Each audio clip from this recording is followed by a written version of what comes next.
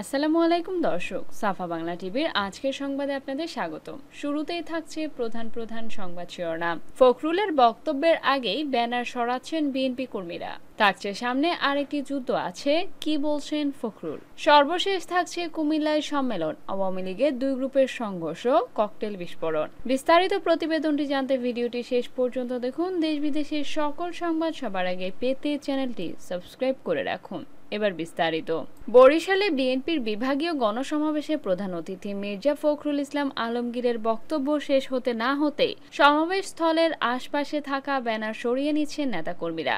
বিকেল পৌনে পাঁচটা থেকে সমাবেশ স্থল বঙ্গবন্ধু উদ্যানের সামনের বান্ধ রোড ও চাঁদমারি সড়ক এলাকা থেকে সমাবেশ উপলক্ষে টানানো ব্যানার সরাতে থাকেন তারা। যুবদল কর্মী আমির হোসেন বলেন, জনসমাবেশ শেষ হওয়ার আগেই এখান থেকে সরাতে হবে। তা না হলে ঝামেলায় পড়ব। তাই নেতার ব্যানার সরিয়ে নিচ্ছি। নাইমুল ইসলাম নামের আরেক ছাত্রদল কর্মী বলেন, সমাবেশ শেষ হলে ব্যানারগুলো নষ্ট করা হবে। তাই নেতার বক্তব্যের আগেই সরিয়ে নিচ্ছি। দেখা যায় শতাধিক ছোট বড় ব্যানার সরিয়ে ফেলা হয় সমাবেশস্থল থেকে। বেশ দ্রুততার সাথে এসব কাজ করছিলেন তারা। চলে যাচ্ছি পরের সংবাদে। বিএনপি মহাসচিব মির্জা ফখরুল ইসলাম আলমগীর বলেছেন, সামনের দিনে আন্দোলন সংগ্রামের আরেকটি যুদ্ধ আছে।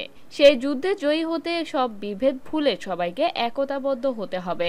আমরা জনগণের সঙ্গে থাকি। আজকের সমাবেশে প্রমাণ হয়েছে, আমরা জনগণ থেকে বিচ্ছিন্ন নই। আমরা কথা দিচ্ছি, আমরা আপনাদের সঙ্গে থাকব। আর শনিবার বরিশালে বিএনপির গণসমাবেশে প্রধান অতিথির বক্তব্যে এই মন্তব্য করেছেন তিনি। বিএনপি মহাসচিব বলেন, আওয়ামী লীগের চরিত্রের দুটি গুণ হচ্ছে ভোট চুরি ও সন্ত্রাস। এই দুটি বিষয় তাদের চরিত্রের সঙ্গে মিশে গেছে। দুই ও দুই সালে আওয়ামী লীগ ভোট চুরি করে ক্ষমতায় গিয়েছিল।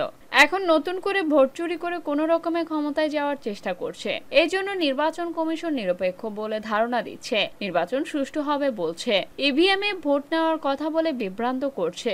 কিন্তু আমাদের কথা পরিষ্কার। শেখ হাসিনার অধীনে কোনো নির্বাচন হবে না, এ সরকারের অধীনে বিএনপি নির্বাচনে যাবে না।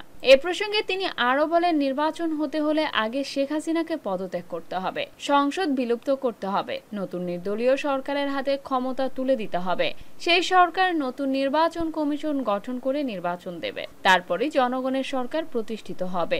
বাধা অতিক্রম করে সমাবেশ সফল করায় নেতাকর্মীদের ধন্যবাদ জানিয়ে মির্জা ফখরুল ইসলাম বলেন, অধিকার ফিরে পেতে তিন দিন ধরে সবাই এখানে এসেছেন। এখানে রান্না করে খেয়েছেন। আপনাদের ধন্যবাদ। মির্জা ফখরুল ইসলাম আলমগীর আরও বলেন, এত বাধার পর কাউকে আটকে রাখতে পারেনি। জনগণের স্রোত দাবিয়ে রাখা যায়নি। এটা স্বাধীনতা ও গণতন্ত্র ফিরে পাওয়ার অধিকারের টান। সেই অধিকার আওয়ামী লীগ ধ্বংস করে দিয়েছে। অথচ উনিশশো একাত্তর সালে গণতন্ত্র ও মুক্ত চিন্তার দেশের স্বপ্ন নিয়ে মানুষ যুদ্ধ করে দেশ স্বাধীন করেছে। আওয়ামী লীগের শাসন আমলের সমালোচনা করে তিনি বলেন, পঁচাত্তর সালে বাকশাল কায়েম করেছিল। এখন গণতন্ত্রের মোড়কে একদলীয় শাসন কায়েম করতে চাইছে। গত পনেরো বছর হামলা মামলা করছে। হামলা করে আবার যারা হামলার শিকার হয়েছেন, তাদের বিরুদ্ধেই মামলা করা তাদের একমাত্র হাতিয়ার। সমাবেশ উপলক্ষে কয়েকদিন আগে থেকেই হাজার হাজার নেতাকর্মী সমাবেশস্থলে এসে অবস্থান নেন। শনিবার ভোর থেকে খণ্ড খণ্ড কয়েকশো মিছিল নিয়ে নেতাকর্মীরা বঙ্গবন্ধু উদ্যানে উপস্থিত হন। বেলা গড়ানোর আগে সমাবেশ স্থলে পূর্ণ হয়ে যায়। ঘূর্ণিঝড় সিটরাঙে অতিবৃষ্টির কারণে মাঠ কর্দমাক্ত থাকায় এক পাশ ফাঁকা ছিল।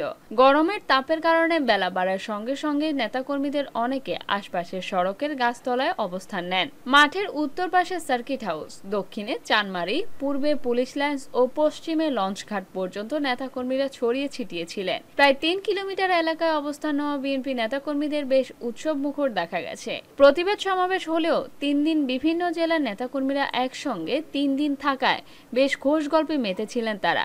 ব্যান্ডের তালে তালে ভুবুজেলা বাজিয়ে সমাবেশে অংশ নেন তারা। হাতে লাঠি ও পতাকা মোড়ানো লাঠিও দেখা গেছে। কেউ কেউ এসেছে স্লোগান লেখা কাপনের কাপড় পরে। চলে যাচ্ছি পরের সংবাদে। কুমিল্লা মহানগর আওয়ামী লীগের প্রথম সম্মেলনে প্রবেশ করা নিয়ে দুই গ্রুপের নেতা কর্মীদের মধ্যে ধাওয়া, পাল্টা ধাওয়া ও ককটেল বিস্ফোরণের ঘটনা ঘটেছে। এ সময় গোলাগুলির ঘটনাও ঘটেছে বলে জানিয়েছেন প্রত্যক্ষদর্শীরা। এ ঘটনায় উভয় গ্রুপের বেশ কয়েকজন কর্মী আহত হয়েছেন। তবে তাৎক্ষণিকভাবে তাদের নাম পরিচয় জানা যায়নি। আজ শনিবার দুপুর বারোটার দিকে নগরীর কান্দিরপাড় এলাকায় কুমিল্লা মহানগর আওয়ামী লীগের প্রথম ত্রিবার্ষিক সম্মেলনে দলের সাধারণ সম্পাদক সড়ক পরিবহন ও সেতুমন্ত্রী ওবায়দুল কাদেরের বক্তব্য চলাকালে এই ঘটনা ঘটে। এদিন সকাল এগারোটায় কুমিল্লা টাউন হল মাঠে ওই সম্মেলনে উদ্বোধনী বক্তব্য দেন কাদের। এদিকে আওয়ামী লীগের দুই গ্রুপের ধাওয়া পাল্টা ধাওয়ার সময় আহত হয়েছেন দৈনিক প্রথম আলোর স্থানীয় চিত্র সাংবাদিক এম সাদেক। তার গলায় ছোড়া গুলি লেগেছে বলে জানিয়েছেন তিনি। এম সাদেক জানান, দলটির দুই পক্ষের নেতাকর্মীদের গোলাগুলি চলাকালে ছোড়াগুলিতে আহত হন তিনি। দলের নেতাকর্মীরা জানান, কুমিল্লার আওয়ামী লীগ নেতা আফজাল খানের সঙ্গে দীর্ঘদিন রাজনৈতিক বিরোধ চলছে মহানগর আওয়ামী লীগের সভাপতি ও কুমিল্লা সদর আসনের সংসদ সদস্য আকম বাহাউদ্দিন বাহারের আফজাল খানের মৃত্যুর পর তার মেয়ে সংরক্ষিত নারী আসনের সংসদ সদস্য ও মহানগর আওয়ামী লীগের সহসভাপতি আঞ্জুম সুলতানা সীমা এখন ওই পক্ষের নেতৃত্ব দিচ্ছেন। শনিবারের সম্মেলনে প্রয়াত আফজল খানের অনুসারীদের উপেক্ষিত করার অভিযোগ করছেন তারা। তবে বাহারের অনুসারীরা তা নাকচ করে দিয়েছেন। এই অবস্থায় আফজল খানের অনুসারীরা দাওয়াত না পেলেও সম্মেলনে যোগদান করার সিদ্ধান্ত নেন। প্রত্যক্ষদর্শী ও দলের নেতাকর্মীরা জানায়, সম্মেলনে আওয়ামী লীগের সাধারণ সম্পাদকের বক্তব্য চলাকালে আঞ্জুম সুলতানা সীমার নেতৃত্বে আফজাল অনুসারীরা টাউন হল মাঠে প্রবেশের চেষ্টা করেন। এ সময় এমপি বাহারের অনুসারীরা তাদের বাধা দিলে দুই পক্ষের মধ্যে ধাওয়া পাল্টা ধাওয়া শুরু হয়। এ সময় অন্তত দশটি ককটেল বিস্ফোরণ ও বেশ কয়েক রাউন্ড গুলি ছোড়া হয়। পরে পুলিশের সদস্যরা দ্রুত পরিস্থিতি নিয়ন্ত্রণে নেন। কুমিল্লার কোতোয়ালি মডেল থানার ওসি আহমেদ সঞ্জুর মোর্শেদ বলেন আইন শৃঙ্খলা পরিস্থিতি স্বাভাবিক রাখতে পুলিশ সদস্যরা মাঠে রয়েছেন। এ ঘটনায় আমাদের পক্ষ থেকে কোনো গুলি করা হয়নি। এখন পরিস্থিতি নিয়ন্ত্রণে রয়েছে, অভিযোগ পেলে বিষয়টি তদন্ত করে দেখা হবে। এমপি সীমার সঙ্গে সম্মেলনে প্রবেশের সময় বাধাপ্রাপ্ত হন মহানগর আওয়ামী লীগের ত্রাণ ও পুনর্বাসন বিষয়ক সম্পাদক নুরির রহমান মাহমুদ তানিম, মহানগর আওয়ামী লীগের যুব ও ক্রীড়া সম্পাদক আনিসুর রহমান মিঠু, শিক্ষা ও মানব সম্পদ বিষয়ক সম্পাদক কবিরুল ইসলাম শিকদার, প্রয়াত আফজাল খানের ছেলে, আওয়ামী লীগ নেতা ও কুমিল্লা চেম্বার অব কমার্সের সভাপতি মাসুদ পারভেজ খান ইমরান সহ বেশ কয়েকজন নেতা। মহানগর আওয়ামী লীগের ত্রাণ ও পুনর্বাসন বিষয়ক সম্পাদক নুরির রহমান মাহমুদ তানিম বলেন, পাঁচ নভেম্বরের সম্মেলনের বিষয়টি আমাদের জানানো হয়নি। সম্মেলন কেন্দ্রিক প্রস্তুতি সভায় আমাদের কাউকে রাখা হয়নি। এরপরও আমরা সম্মেলনে গিয়েছি। টাউন হল গেটে তারা বাহার গ্রুপ আমাদেরকে প্রবেশ করতে না দিয়ে গেট বন্ধ করে দেয়।